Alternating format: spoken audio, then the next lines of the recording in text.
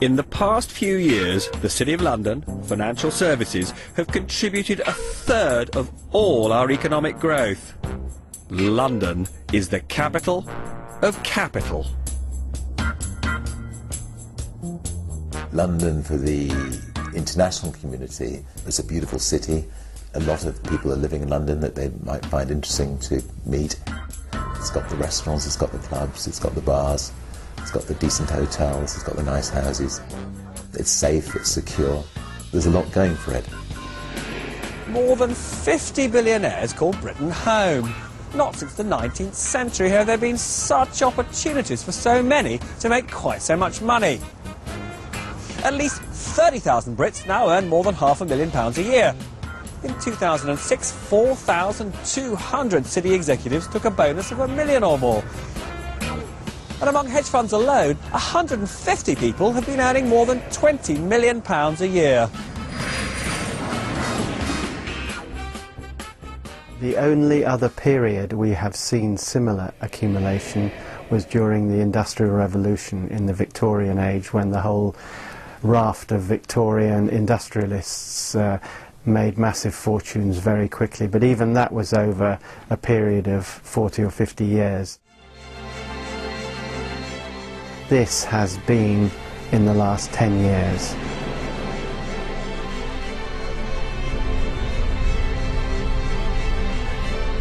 When you're coming here with several billion pounds, you travel around in armoured limos guarded by people who look after you. The idea of the congestion charge is wonderful to you because it clears the roads of the riffraff. You can get out to a private airfield quickly to get on your jet to go and see far-flung operations as part of your empire. And they've created ghettos of fabulously expensive property. This house in North London recently sold for 50 million pounds. The new owner will be spending probably another up to 30 million pounds creating what will probably be the most desirable house in the world. And just outside London is this brand new 26 bedroom mansion. It's on the market now for over 70 million pounds, but it's the running costs of over a million a year that means only proper billionaires need bother to view it. Even so, the developer, Leslie Allen Vercoe, tried his best with me. So this is a private swimming pool, is it simply for the owner of the house? Unless, of course, the owner of the house wants to allow people to use it. The ensuite swimming pool why would you want five pools? Because you've got five pools, haven't you, in this house? What family needs five pools? You genuinely need to like swimming. This bathroom area is about 800 square feet. Putting it into perspective is about the size of the average two-bedroom flat in London. That's just for your towels, that room. I feel rather disappointed I haven't got one of those. The size of a decent-sized kitchen for me. Jewel-encrusted gold tabs. That's very good, very nice. Oh, Definitely going to have to have one of these in my home.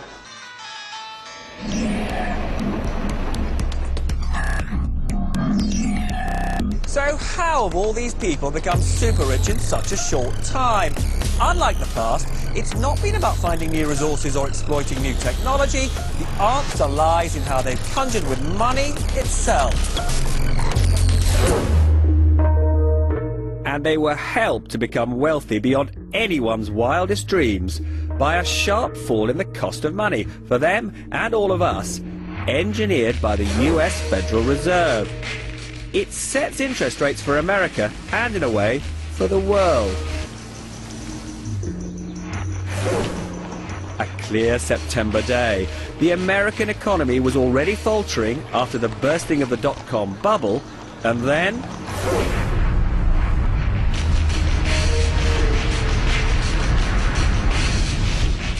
The world's most powerful central banker, Alan Greenspan, feared the terrorist outrage would further undermine the confidence of businesses and consumers, so he kept interest rates unusually low. American interest rates were tonight cut by a half of 1%. The Federal Reserve base rate now stands at just one and a quarter percent, the lowest for 41 years. After the bursting of the dot-com bubble and 9-11, Greenspan slashed rates to just 1% and the supply of credit soared because the great exporting nations, such as Japan, China, and those of the Middle East, were generating vast surpluses and lent much of their cash to us in the West. Finance is global, so it became cheap to borrow money anywhere. For private individuals, and especially for businesses, tycoons, and financial institutions they went on the most frenetic borrowing spree the world has seen. With so much money sloshing around, the price of assets, from paintings to houses to entire companies, soared. £65,000. So people borrowed more against the inflated value of their assets. The valuation of property, the valuation of shares, art, jewellery, etc., was soaring. And the central banks on the whole said, this is not our business. We don't manage assets. We only manage price inflation. With markets rising, borrowing vast sums for investment was the route to magnificent fortunes. It's what bankers call using leverage. Leverage is simply borrowing to invest. You're not investing your own money uh, or you're investing part of your own money, but you borrow to invest more. Um, so that's simply, that's, leverage is borrowing to invest. When we borrow for a mortgage, we're leveraging. As simple as that. The power of leverage to multiply profits is a common experience for millions of us who borrow to buy a house. If you put down a £10,000 deposit when buying a £100,000 home and borrow the other £90,000, and that house then rises in value to, say, a £110,000, well, your £10,000 doubles to £20,000. You make a 100% profit. That's the magic of using the bank's money to finance most of the purchase. And in a rising market, the more you borrow, the greater your profits.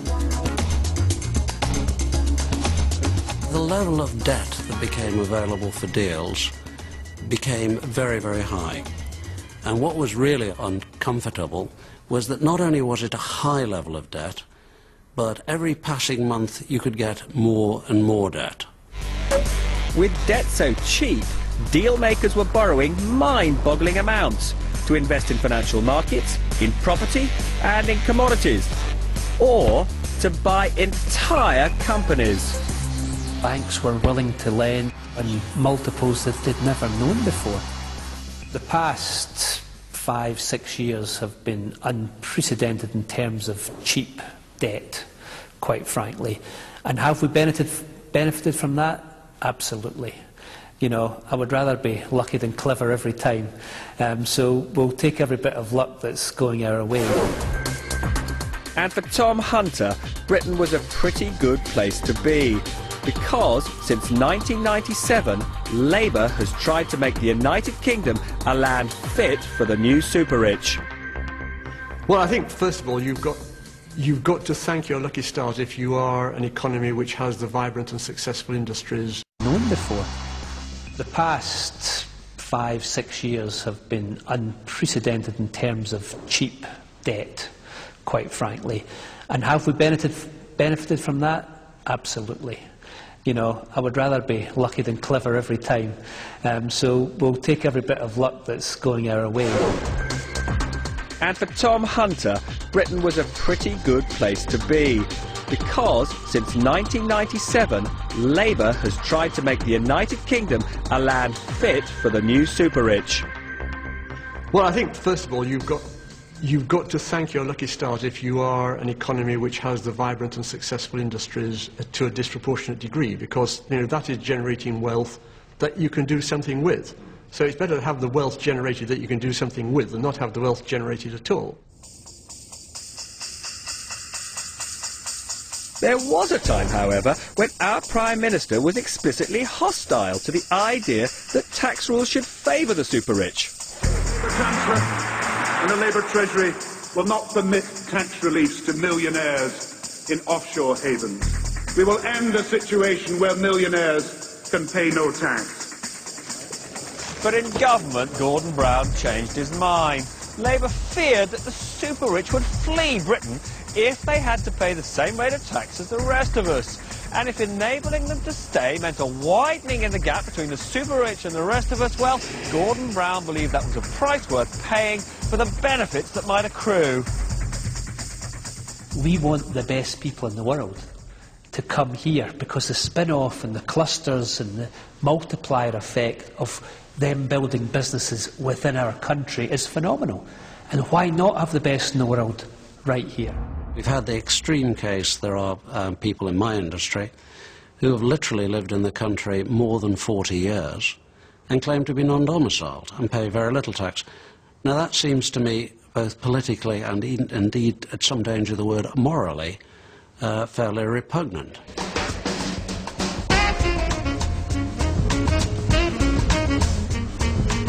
Even some of the super rich began to question whether it's fair that they should be taxed at lower rates than their servants. There's lots of things about my industry I don't like, quite frankly.